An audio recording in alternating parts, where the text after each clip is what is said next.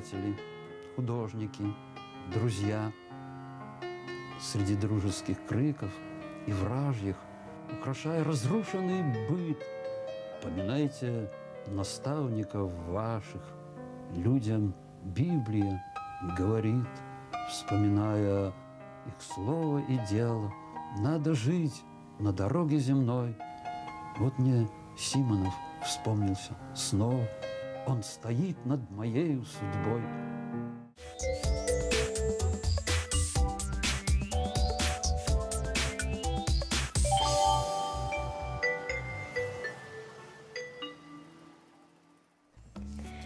Добрый-добрый вечер, уважаемые телезрители. Сегодня 26 июня, понедельник, хороший светлый день. И вот ровно 85 лет назад в этот день родился человек, а, который прославил наш Витебск, человек, которого очень многие знают и любят и творчество которого неразрывно связано с этим городом. Все его стихи, которые многие знают, многие читали, они пропитаны Витебском, они о Витебске, они написаны здесь в Витебске, и все понимают, о ком идет речь. И наша Витебская студия телевидения тоже очень многим обязана этому человеку, Давид Григорьевич Симонович. Сегодня мы будем говорить о нем, вспоминать его. Сегодня к нам в студию придут люди, которым этот человек особенно дорог, они поделятся своими воспоминаниями, но пока давайте посмотрим одну телевизионную телевизионную работу а, Давида Григорьевича, которая, ну, тоже, мы уверены, вас впечатлит. городов,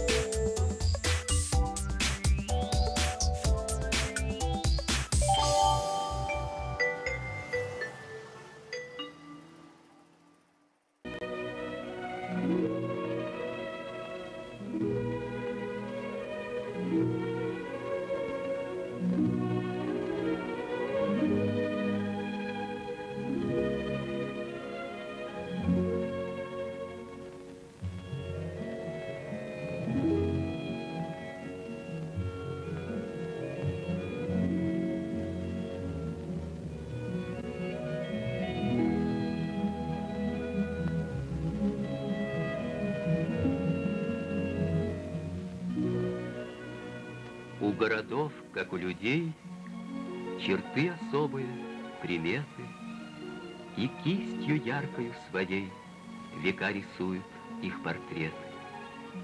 Шумят века, идут века навстречу вьюгам, ветру, зною, И как седые облака века проходят над виною. О, как сегодня далеки легенды древние страницы.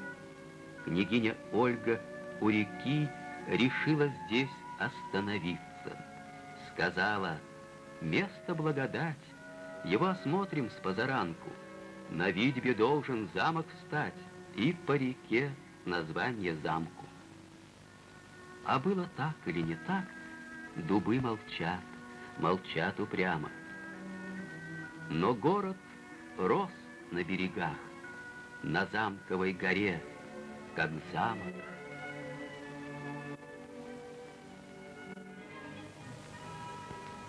Полночный город, как река, темнеют улицы родные, И лишь зовут издалека его огни береговые.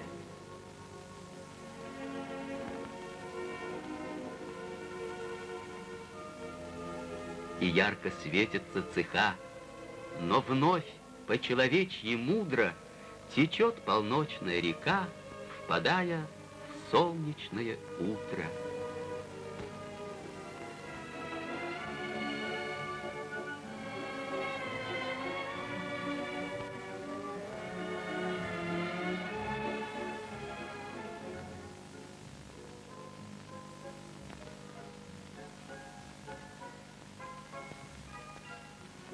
А на зеленом берегу аллеи парка ждут. Входите. И парк, глядящийся в реку, и песни — это тоже Витебск.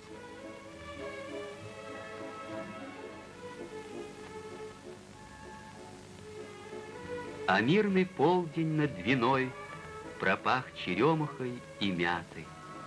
И все моложе город мой, рабочий славою богатый,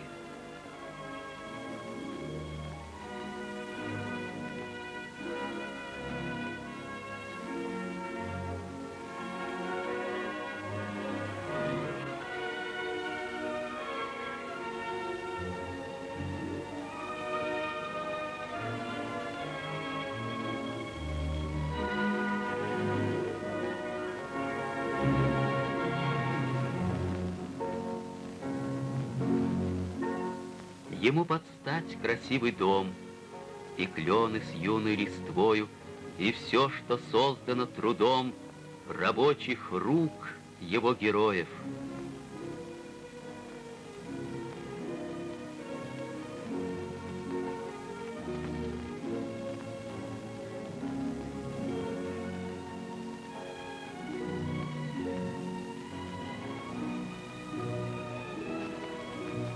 И вписанный в родной пейзаж видны сегодня отовсюду театр Колосовской наш, дворцы культуры, институты.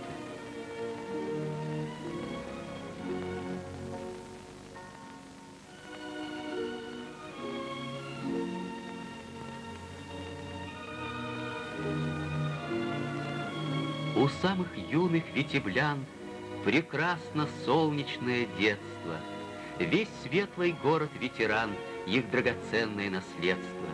Под добрым взглядом Ильича они дорогою большою Взлетят, как с плеча, Отсюда, с улиц над Двиною. Не раз делами сыновей Ты будешь, Витебск мой, гордиться, Они в истории твоей Напишут новые страницы. Ну, вот,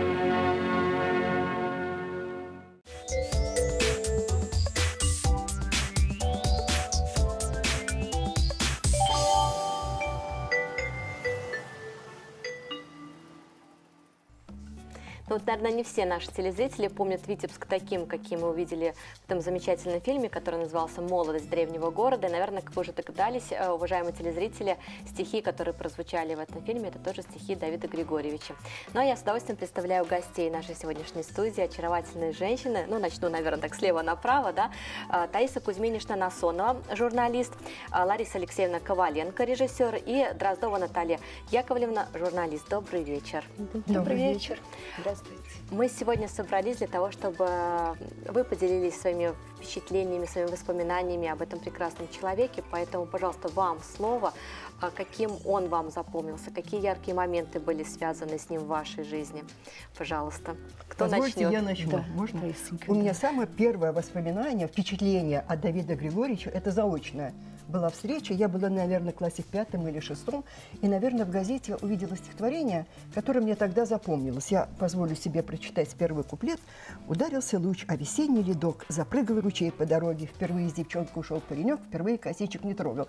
Вот почему до сих пор помню, и тогда Давиду Григорьевичу я прочитала, он так, он же был с юмором человек, он говорит, Таиса, ну что, ты не нашла лучше стихотворения, чтобы... Я говорю, оно мне было по возрасту, по ассоциациям каким-то, да, косички были, мальчишки дергали, и была весна. Вот так я узнала о Давиде Григорьевиче. Я тогда предположить не могла, что когда-нибудь я буду с ним лично знакома и работать под его руководством. Потому что уже тогда мы понимали, поэт в России больше, чем поэт у нас тоже, да. И потом, когда много лет спустя я пришла работать на телевидение, мы попали в редакцию художественного вещания, да, вот мы все трое, да. Потом была литературно-драматических передач и музыкальных, мы там работали. Вот такое у меня первое воспоминание о Давиде Григорьевиче. Передаю слово, я Ну, потом в отличие продолжу. от тебя, я честно признаюсь, что Давида Григорьевича как поэта я не знала и не воспринимала, потому что э, Давид Григорьевич был первым в моей жизни руководителем, как теперь принято говорить, моего первого рабочего места.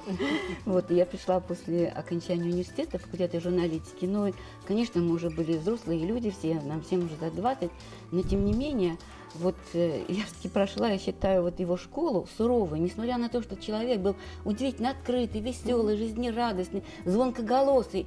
На самом деле он оказался руководителем, вот не побоюсь сказать э, этого слова, просто до жесткого, до жесткого, очень требовательно. Но с другой стороны, я считаю, что вот все, что в нас хорошего, профессионального, э, мы всем этим обязаны Давиду Григорьевичу. И Я вообще только потом вот поняла, чего ему стоило бороться с нашей женской непунктуальностью. Э, Не преувеличиваю. Не у всех, да? А, Да. Были такие грехи. Были такие грехи, но это не самое страшное. Самое страшное это было не вовремя вообще подвести человека. Вот мне кажется, что человек отличался такой сам пунктуальностью, организованностью, просто я, например, с таким встретилась впервые. Тем более, что, я говорю, это было мое первое рабочее место, творческая работа. Но на самом деле Григорий Давид Григорьевич показал нам всем, что на самом деле творчество – это не вседозволенность и не распоясность. Это не то, что показывают в фильмах журналист, значит, такой вообще секой. Журналист – это человек, который, прежде всего, организован, трудолюбив. И самое главное, не быть э, семи пядей во лбу, но никогда не подвести своих товарищей. Ну, может быть, для того, чтобы вот это как-то конкретно объяснить, нужно может, даже немного вернуться в то время, когда мы работали с Давидом Григорьевичем. Это, это были 70-е годы, вот 80-е да. годы. Вот вы помните, что такое была студия? Это практически никакого кино, кинопленка на минуты. Да. У нас был штатный фотограф, да. да, потому что в основном были фотографии, но и вообще передачи э, были разговорные. И, в принципе, нужно было в эфир выдать драматургию разговора. И неважно, что это было э, за передача детская или музыкальная, или это была молодежная передача ну, молодежные детские особенно трудно давались, потому что если дети приезжали автобусом из Брасова, они вставали в 4 утра, приезжали на студию, их надо было накормить, им надо было не дать заснуть, занять их разговорами, провести репетицию, потом тракт, а потом как будто бы впервые, значит, на высокой ноте, весело, задорно выйти вечером в эфир. И вот что интересно, прежде чем э, эту передачу в эфир поставят, ее надо было запланировать, а для этого надо было съездить, например, если был сюжет из Верхнединского района, съездить туда и привезти уже готовый сценарий, встретиться с людьми. Потом тебе давали машину, да, оператора, режиссер ехал. Да. да, и только под это уже потом давали эти две минуты несчастного кино черно-белого. Или даже фотографа. Да. И вот едешь в этот Верхнедвинский район, ну там автобусом утренним, потом там тебя кто-то подбросит до колхоза. В колхозе, а какие были колхозы тогда, огромные, там, там комсомольская молодежная бригада, животноводческая какой-то комплекс. Обходишь этот колхоз вдоль и поперек, пешком, со всеми встретишься, со всеми познакомишься, узнаешь характеры, все, вечер уже, ночь, добираться, выходишь на трассу, помню, из этого Верхнединского района добиралась с каким-то рефрижератором до Полоцка, из Полоцка грузовиком до Лёц, от Лёца мне какая-то автоматизированная охрана довозила до Витебска, но ночью надо было написать и утром сдать сценарий.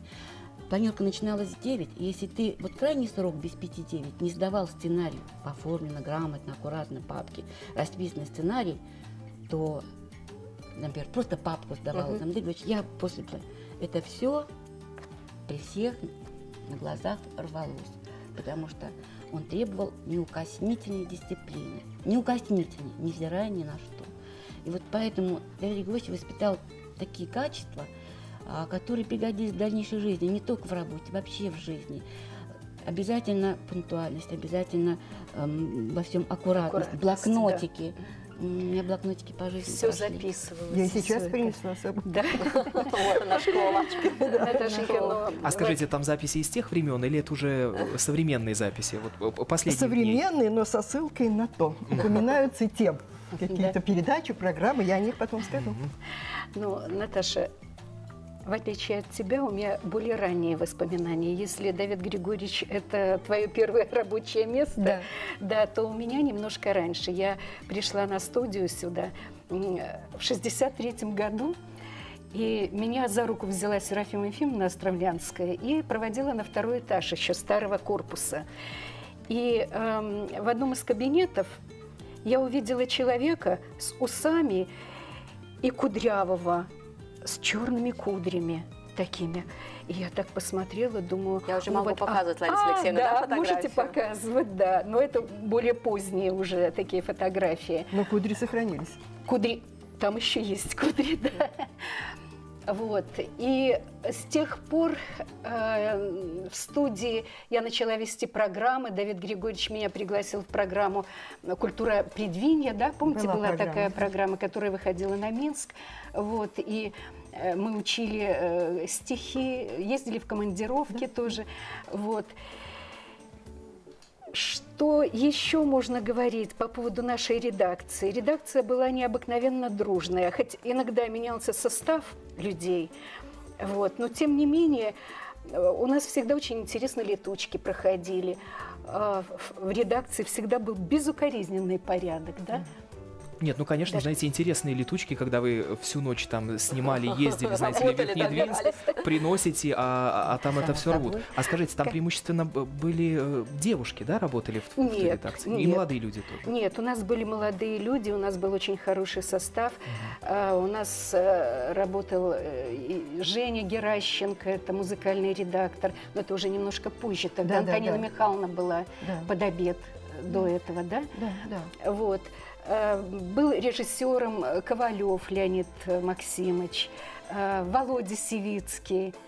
э, вот. Александр Сергеевич Козлов. Козлов Александр Сергеевич. Спектакли да, ставили? да, спектакли ставили прямо здесь в студии, вот в павильоне, и не только в павильоне, а прямо вот в рабочих кабинетах мы организовывали эти спектакли. И вы знаете, очень даже неплохо Очень было. даже хорошо было. Вы вот вспомнили в, э, в своем рассказе Серафиму Ефимовну Островлянскую. Да. Наверное, в те времена, когда приходилось добираться на оленях, да, да, и ночью писать сценарий, э, мечтать о такой связи, как э, через скайп, наверное, и не мечталось. Вот. Но сейчас это уже все возможно. Человек, который за 3-9 земель находится от нас, а, тоже поделился своими воспоминаниями о Давиде Григорьевиче. Давайте посмотрим вместе сейчас с вами. да. Ну, интересно, да.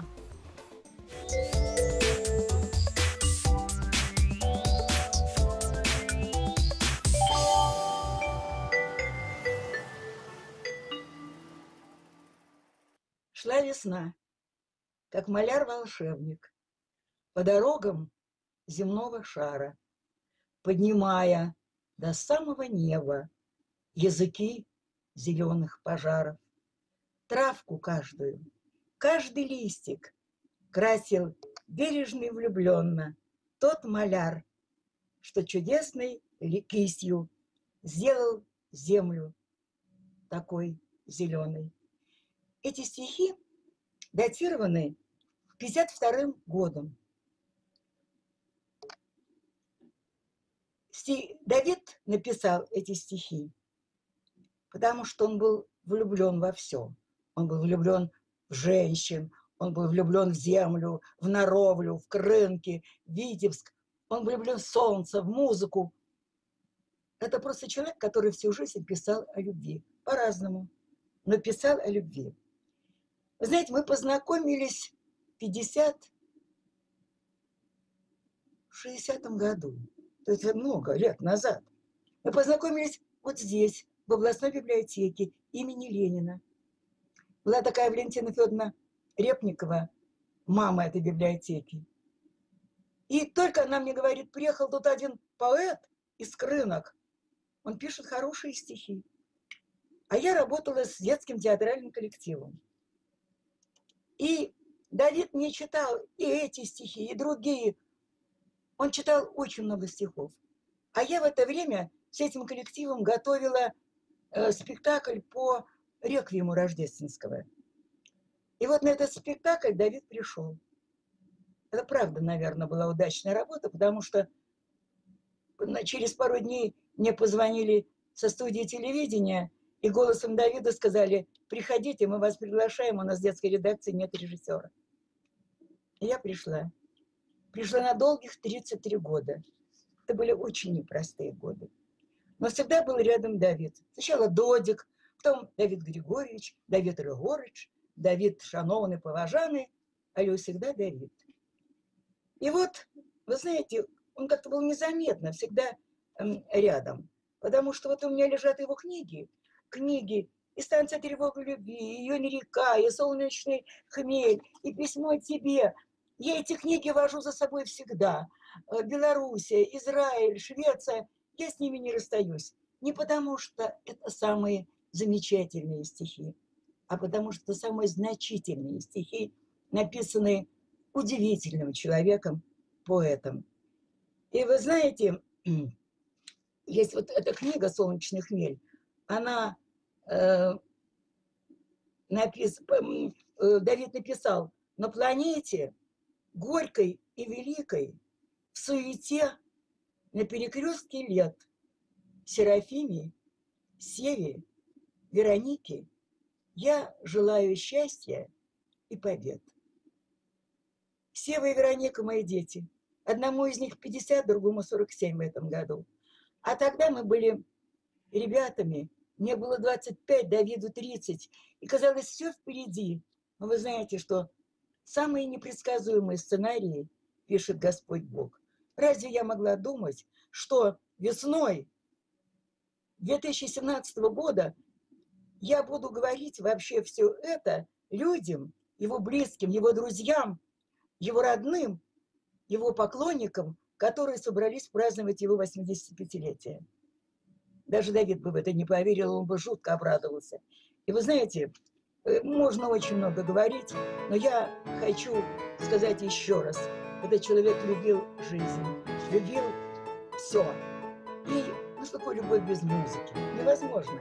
И я хочу прочесть завершение стихи, э, которые я должна вам прочесть. Единственное, что я хочу сказать, я пожизненно обязана этому человеку тем, что он меня привел на студию телевидения, то есть он привел меня в мою профессию, э, в мою семью, в мое призвание, в мою жизнь. Словно солнце ручьями льется и смеется на каждом листе, где рождаются новые солнца в ослепительной красоте. Серебрятся волшебные флейты, прославляя земную весну. Я тревожно шепчу, не пролейте лишних звуков голубизну. Но встает над оркестром Моцарт и в ответ улыбается мне. Пусть как солнце веселье льется, лишней радости нет на земле. Я вас очень прошу, помните про эти слова. Лишней радости нет на земле. Радости вам, всего самого доброго и доброй памяти. Поэту я надеюсь, что улица, по которой вы ходите на работу, будет носить имя поэта Давида Симоновича. Спасибо вам.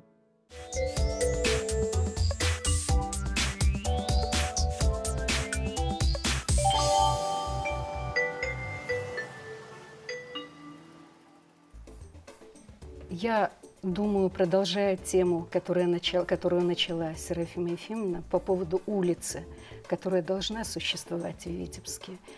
Это наше такое, по-моему, предложение, правда? Да, наше пожелание. И, быть может, к этому пожеланию подключится кто-нибудь еще в городе. Может быть, действительно, когда-то появится улица имени Давида Симоновича. Я думаю, что этот человек достоин того, чтобы его именем назвали улицу.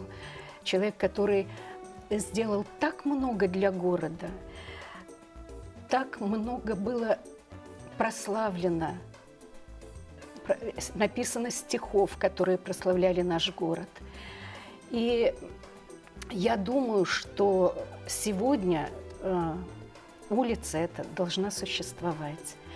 И вы знаете, вот когда ходишь по улицам города, до сих пор еще не верится, что ты не встретишь этого человека, не встретишь его улыбающиеся глаза, э, не услышишь его мудрые какие-то пожелания, мудрые слова не услышишь. И так часто было, что, перебегая мост имени Кирова, Давид Григорьевич бежит, «Привет! Привет! О, у меня для тебя книжечка есть. Вот, и он достает свою книжечку, тут же на ходу подписывает ее и дарит эту книжку, которая останется у нас в памяти, которая останется у нас всегда на века, вами, на да. наши, да. Вот. И однажды, идя вот через мост Кирова, вдруг у него родились такие слова, строки. Легко взмахнув руками, как крылами, Однажды вдруг взлечу я над землей, Разлуку сбросив, как тяжелый камень, Еще не став ни чайкой, ни звездой. Мне кажется, что душа его уже стала звездой. И где-то, может быть, на вечернем небосклоне все-таки эта звезда смотрит на нас и, может, иногда вдохновляет нас. И все-таки э, я думаю, что все равно мы где-то рядом ощущаем его присутствие. Вот, Таиса, может, ты? А я ну, хочу... у каждого свои воспоминания, да, да расскажи, поделитесь вы еще своими. Я хочу вернуться к нашей ежедневной практической работе, журналистской, ага. к да. нашим передачам. Мы немножко отвлеклись, это очень хорошая тема. Только да. два слова можно добавить. Вот у нас эти книжки, они все с автографами, да? Да, да. все книги. Да. Вот. И Давид Григорьевич, он нам дарил дням рождения, к 8 марта, там, ну, ко всем и праздникам дарил. с выходом этой книги. Да, вот. Но однажды он дарил, а я опоздал. Ну, не потому что на работу опоздала, а я где-то была на записи. Я прибежала, и он говорит, ой, говорит, книжки кончились. И он взял открыточку и написал, свою ошибку исправляю, но книжки не найдя в столе, тебе дарю сегодня тая все букеты на земле. И подарил открытку. Это было так приятно, да? Соображение букетика, да. Вот знаете что, вот вы говорите про то, что он дарил книги, а ведь у меня тоже есть его книга. О. Я даже открою и, наверное, тоже первую страницу, и она с автографом. Я попрошу обратить внимание вот, вот сюда сюда. Посмотрите, как он подписался. Патриарх Давид.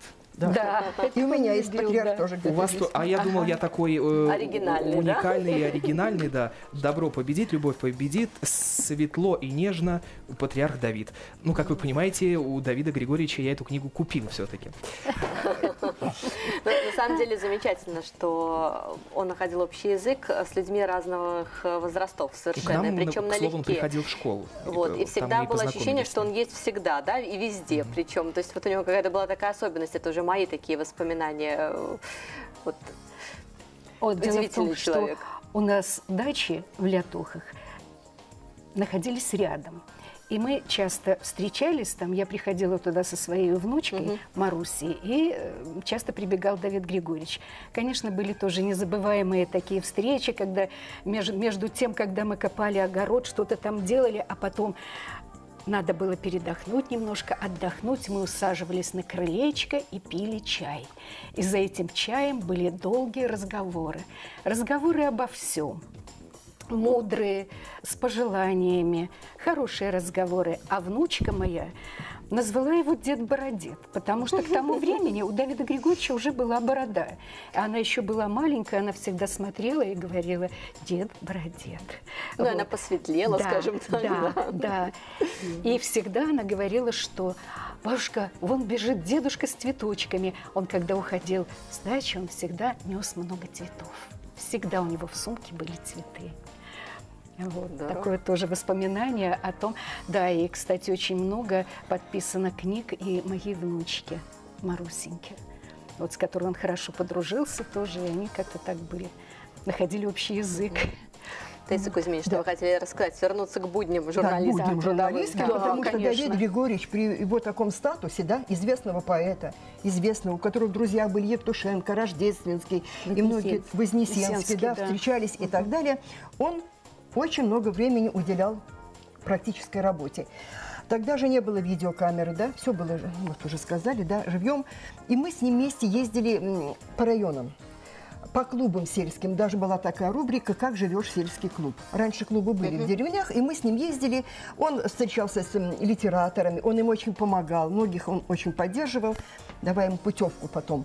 И мы были, помню, в Глубокском районе. И оказалось, что один клуб, лучший сельский клуб, они дружили с клубом, э, с женщинами, исполнительницами народных песен в деревне Аулея в Латвии. А раньше же границу эту да. пересечь было просто, да? И вот мы решили поехать к этим женщинам. Мы поехали в эту деревню Аулею, женщины нас хорошо очень встретили, мы посидели, оттуда возвращались уже очень поздно, и машина застряла в дороге. Зима была, холодно, ну, в общем, вот так вот. И мы этих женщин пригласили к нам в студию пригласили этот хор, наш белорусский, который исполнял наши песни, и латышские. Это была такая трогательная встреча. И потом, когда я видела бурановских бабушек, я вспомнила тех наших бабушек, которые пели так же вот тепло, по-человечески и так далее. Вот такие были у нас поездки. Это была такая программа «Длина». Лора, помнишь, да? Да, конечно. Она состояла. Мы посещали народных умельцев, я видела, как кузнец кует там какие-то вещи, как ложки они делают. Зашла к одной старушке, а у нее была не комната, а светелка. Там все было вот вышивки, понимаете, вот плетение.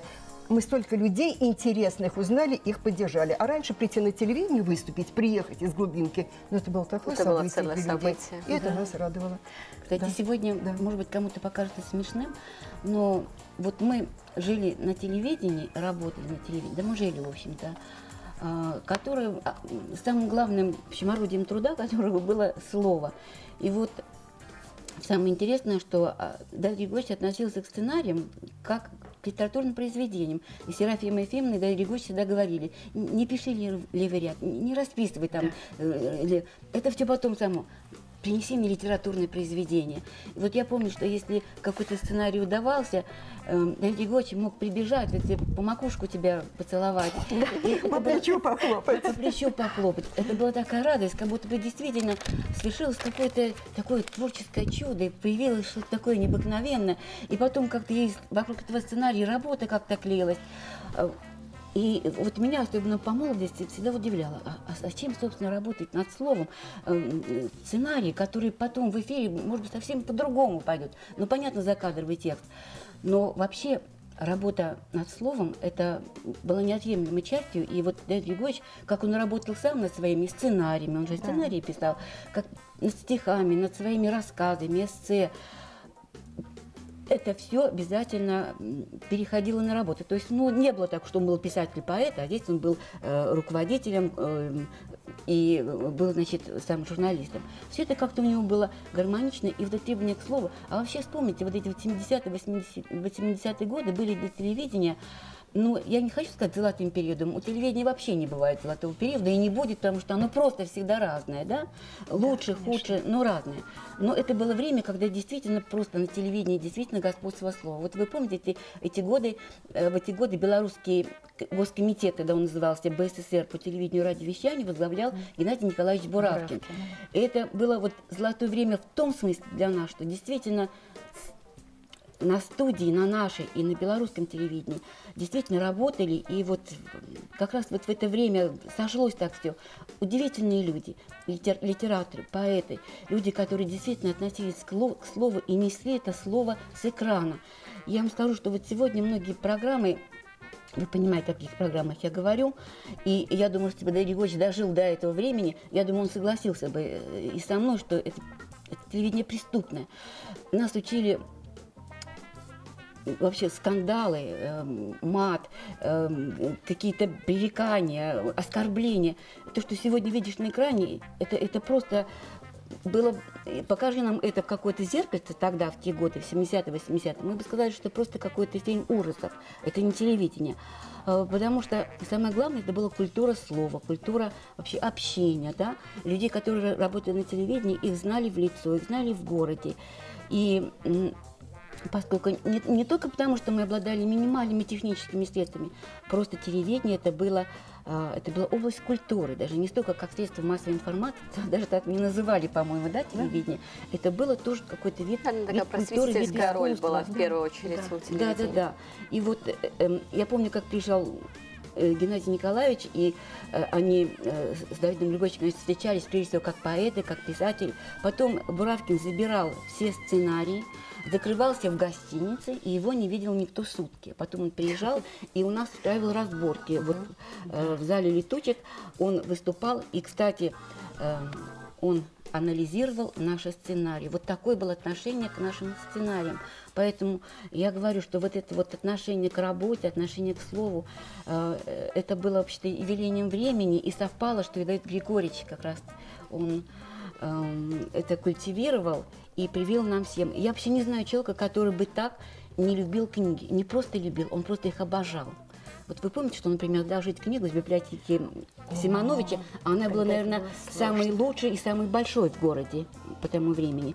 Это было, я не знаю, какой человек мог удостоиться такой чести, чтобы ему дали почитать книгу из э, библиотеки Давида Григорьевича. Он к книгам относился настолько трепетно, и поэтому, когда в последние годы жизни он уже дарил их библиотекам, школам, гимназиям, эм, было какое-то такое же- даже щемящее чувство э, вот возникало, когда он рассказывал, он радовался, он говорил, он делился, что вот раздает это. Мы понимали, что, наверное, он что-то чувствует. К- Какая-то была тревога в этом, что он раздает э, своих, свои любимые книги. Свое богатство. Свое богатство, да, да свое богатство. Это я, я не знаю более такого человека, который бы так обожал книги. Обожал, читал и много знал вообще.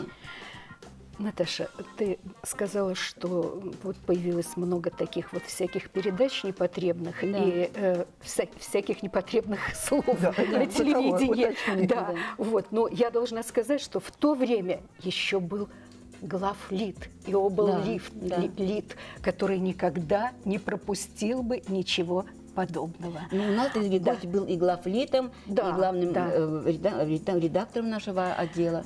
Ну, и я еще хочу сказать, что на протяжении многих лет я обратила внимание, что Давид Григорьевич никогда не говорил, что я иду на работу. Он всегда говорил, я иду в студию.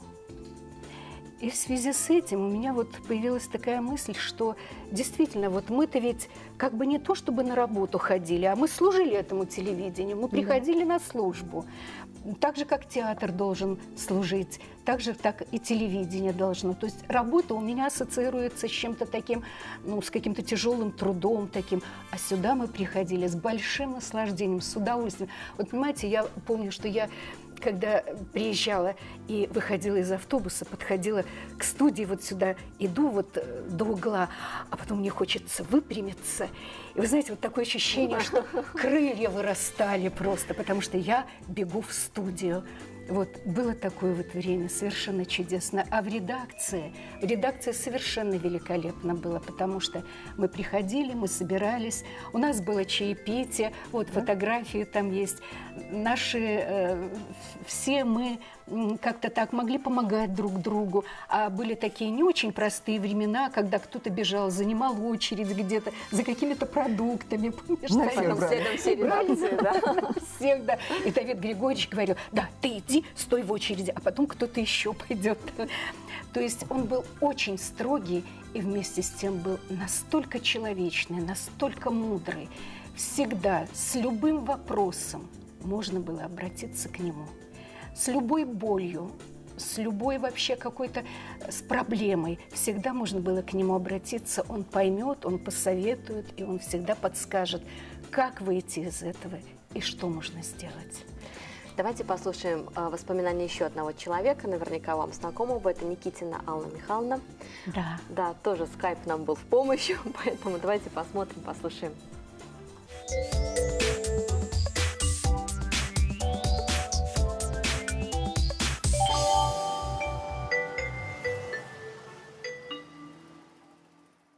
молодому человеку обычно нужен кто-то, кто бы направил его в его юности по какому-то четкому вектору и э, объяснил ему эту жизнь, и как бы не текстом, а собственной жизнью. Вот для меня Давид Григорьевич был таким. Я пришла к нему в 16 лет, принесла стихи, слава богу, не выгнала, даже похвалил. И как бы мы подружились, а потом я пришла работать э, к нему э, в отдел после окончания факультета журналистики. И э, мне тоже важен был учитель, который научил бы меня работать. А он работать умел. Этот человек был заряжен жизнью, что было очень важно, потому что ноющих и так вокруг много, ноющих и болтающих. Он был не из тех. Ему неинтересно было, не помню, чтобы он о ком-то сплетничал, кого-то осуждал, кого-то там порицал. Нет. Он, э, у него было свое отношение, конечно же, ко всему, весьма четкое. У него были очень жесткие границы в отношениях с человеком, в отношениях, ну, как бы с человеком определенных качеств. Но, тем не менее, э, он был и мягким человеком, и ну, прощал, наверное, тех, кто его э, умел прощать, тех, кто его не сильно устраивал. Вот. Но он сам был действительно настоящим примером, скажем, в работе. Да? Вот ты приходишь утром на работу, ты видишь, если ты опаздываешь, это было очень неприятно. Ты входишь в кабинет, говоришь «здрасте», и вот как он показывал, что он этим недоволен, и вообще с какой стадии, почему, кто тебе позволил. Никогда не говорил таких слов. Он просто здоровался на тебя не, гла, не глядя. Ты закрывал дверь и получал свой плевок. этого было достаточно, чтобы ты завтра уже не опаздывал. Э, или, скажем, там, если ты долго мурыжишь с каким-то материалом, да, он тоже ничего не говорил такого конкретно в лицо.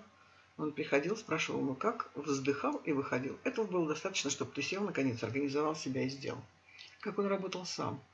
Он у него на столе лежала стопка белой бумаги. Э, маленькие такие э, листики, которые он, э, в которых он писал свои планы на день. Один, два, три, четыре, пять, шесть, не знаю сколько, потому что в течение дня звонили бесконечные телефоны, и работы прибавлялось. А в конце дня я видела, как он вычеркивал все эти пункты свои, потому что он это сделал и выбрасывал э, в мусорницу, сделал, закончил. А то, что оставалось, он оставлял, клал под, под календарь, и было совершенно понятно, что он это сделает завтра. Не завтра, так послезавтра, но обязательно в кратчайший срок. Он был человеком, который обещал и сделал. Что поражало в нем, это его какая-то гражданская смелость. Время было тяжелое, мы с вами знаем. И далеко не каждый был образцом ну, как бы для подражания, потому что народ либо боялся, либо лебезил довольно часто. У Давида Григорьевича этого не было. Этот человек знал себе цену, и поэтому цену ему знали другие. Смотрите-ка, было очень сложно в свое время оживить Шагала, но он последовательно в нашем городе, но он это делал последовательно и постоянно, и в те времена, когда этим мало кто занимался, нет, им шагалом-то занимались, но так вообще, так чтобы поднимать, что называется, вопрос, э, не каждый решался, а он постоянно это делал. Шагал – это, в общем, по большому счету, его заслуга. А я не имею в виду краеведов, которые тоже много сделали для этого дела. Давид Григорьевич был человеком, который объединял, как я уже говорила, и э, он как бы вот всегда знал, что, что делать, если у тебя есть хороший материал. Вот, например, э, хороший материал у нас Витебский, в нашей области, его хватало всегда, творческий. Он э, как бы был у, у истоков создания семинаров творческой молодежи. Он объединил творческую молодежь, и мы все вместе. Творчество, такое творчество? Да? Актеры молодые, художники, писатели, там, поэты – мы, познаком... мы знакомились друг с другом на хороших, э, в хороших э, там, не знаю, домах отдыха. Он объединял всех на, там, скажем, несколько дней. Он привозил серьезных писателей из Минска в его, куда приезжали и Вертинский, и э, Анатолий Вертинский, и Регор Бородулин, и Геннадий Буравкин. Это было приятно. Видите, город дышал каким-то ну, свежим, свежим воздухом. И там, значит, какие-то появлялись какие-то творческие пары, скажем, кто-то писал стихи, кто-то музыку. Так я познакомилась с Борисом Носовским. Да будет светла его память. Мы писали какие-то песни интересные для театра и для города. И, в общем, э, мы стали друзьями. Давид Григорьевич – это некий, некий такой э, светлый шар, который раздает себя совершенно спокойно, вот берите, запоминайте, я есть, спрашивайте, отвечаю, светитесь дальше. И было, и это действительно так, потому что вот этот вот заряд, да, жить, продвигаться, писать, работать, не ныть, он был как, э, ну, как энциклопедия. И находиться рядом с ним было большое удовольствие. В общем-то, человек оставил о себе память, факт то, что вот сегодня вокруг Давида Григорьевича собирается такая замечательная компания, что ли, которая, ну, как, ну, как бы продолжает его память и живет с ним. Это человек, человек своей эпохи. Вот, пожалуй, что я могу сказать о Давиде Григорьевиче за эти коротенькие. Да будет светла его память.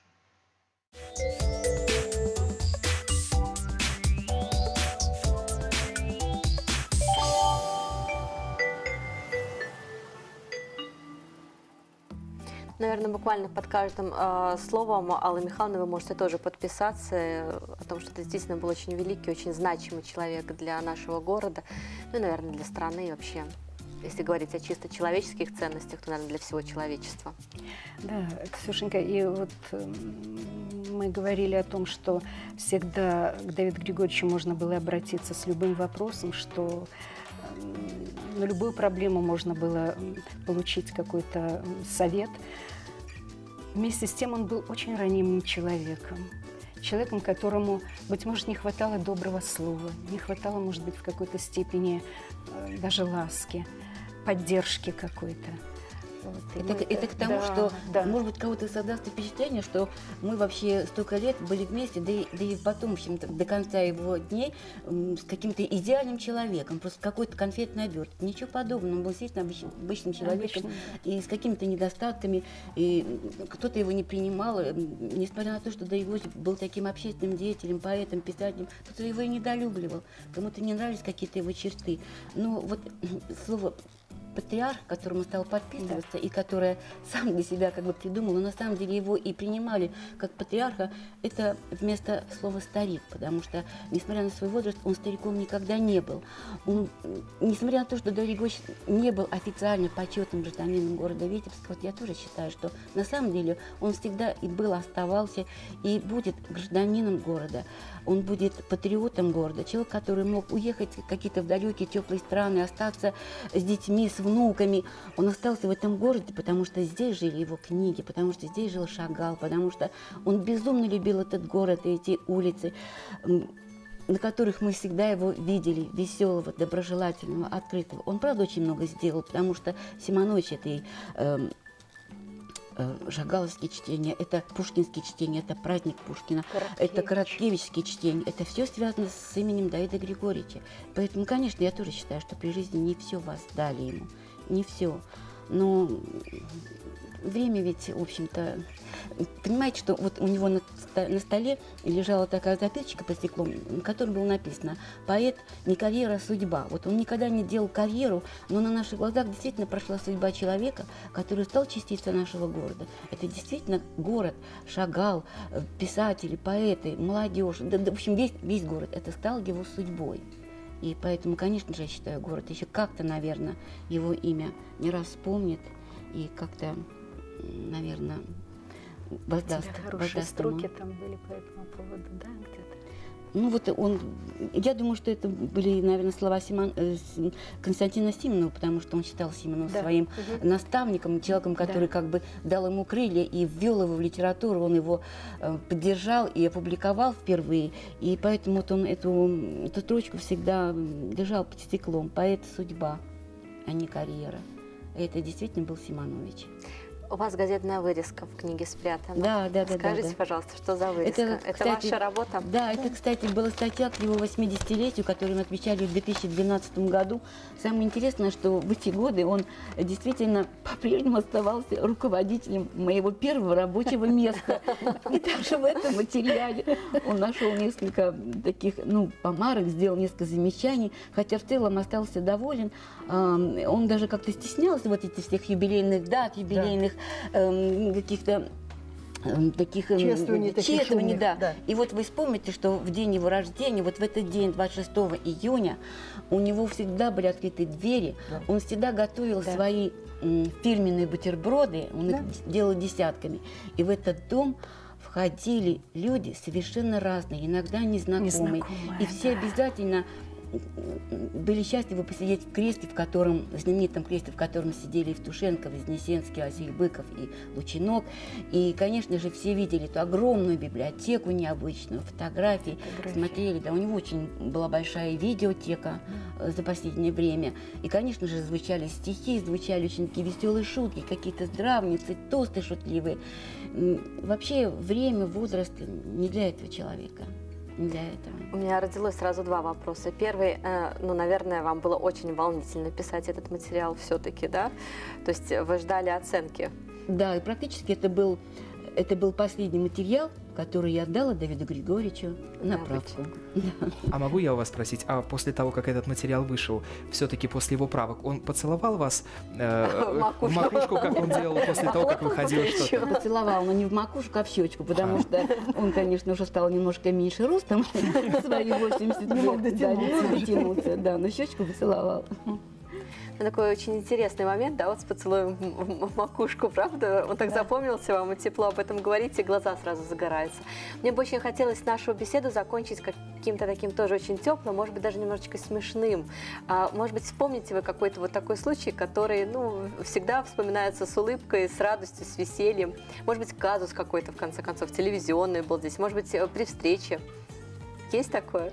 Ну, казус не казус, но вот если говорить о каких-то принципиальных э, его взглядах, привычках, традициях, Давид Григорьевич никогда не носил галстуков, он их ненавидел вообще. Угу. И мне даже кажется, что если ему Васильевна какие-то ему там и приберегала, они потом все там стлели в шкафу. Э, петловка, э, свитерок, рубашка и знаменитый пиджак горчичного цвета, который был, в общем-то, наверное, знаменем нашего... Пиджак у него был исторический. Исторический, да, да, исторический пиджак горчичного цвета. Это был вообще, это, это был стяг нашего, э, нашего телевидения, нашего отдела. Он умел говорить комплименты, правда? Да.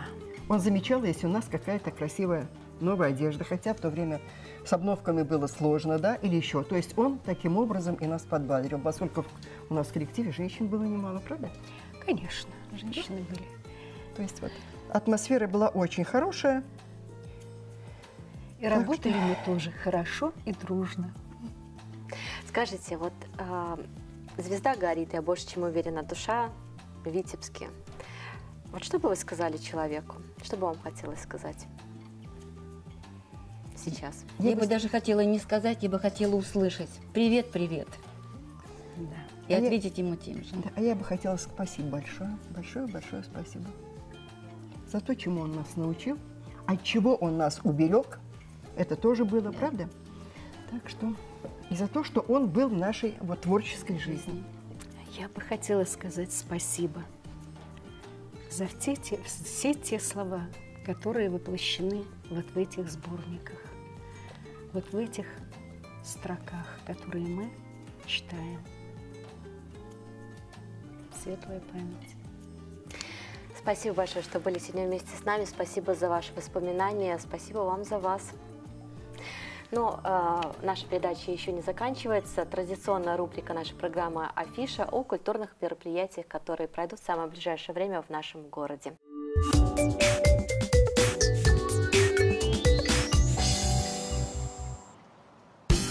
Бисквитный рулет Мамита и пирожные Сноу Макс с различными начинками понравятся и взрослым, и детям. Попробуйте, и пусть ваши будни наполнятся новым вкусом. Витебский областной методический центр народного творчества приглашает детей и взрослых на выставку попугаев и певчих птиц. Все желающие смогут познакомиться с удивительным миром птиц с разных континентов. Посетителям будут представлены как привычные в наших краях певчие птицы, так и экзотические виды пернатых. Экспозиция подарит шанс рассмотреть уникальных, ярких и впечатляющих птиц и даже послушать их пение. Выставка работает с 11.00. Центр современного искусства представляет выставку живописи витебских художников «Портрет города». Проект «Портрет города» ежегодно знакомит публику с современной художественной жизнью Витебска и демонстрирует работы, посвященные городу. В экспозиции этого года будут представлены творческие работы в различных жанрах – пейзаж, портрет, натюрморт и сюжетно-тематическая композиция. В рамках проекта сами художники станут портретом города, его созерцателями и творцами. Выставка открыта с 10.00. Витебский краеведческий музей представляет выставку графики и скульптуры «Зюзя, Жевжик и другие герои белорусских сказок, мифов и легенд». Белорусский скульптор Антон Шипец и художник Валерий Слаук представят 13 скульптур и графических изображений мифологических персонажей, дополненных богатым медиарядом, включающим приложение виртуальной реальности с персонажами белорусской мифологии с использованием VR-гарнитуры Oculus Rift, анимационные и видеоролики о персонажах белорусских сказок и легенд, а также тематическую литературу. Выставка открыта с 10.00.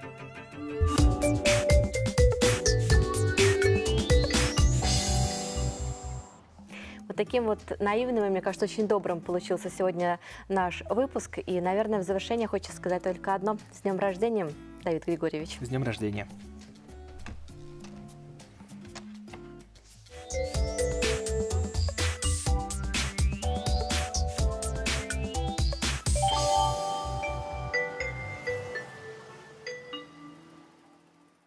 По Витебску любимому брожу, Двину перехожу, как бы межу, Что на две части город разделял.